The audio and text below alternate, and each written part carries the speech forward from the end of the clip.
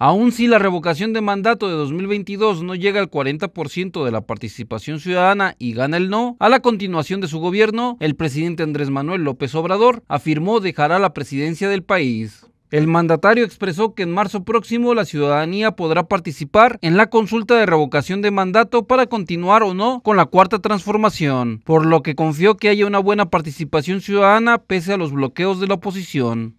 Espero se llegue al 40% para que la consulta sea vinculatoria, pero si no llega al 40 y pierdo, me voy, porque no voy a estar aquí si no tengo el apoyo de la gente, no voy a estar aquí de florero, de adorno. No se puede transformar un país si no se tiene autoridad moral y política. No estoy dispuesto a pasar a la historia como un presidente mediocre, sostuvo.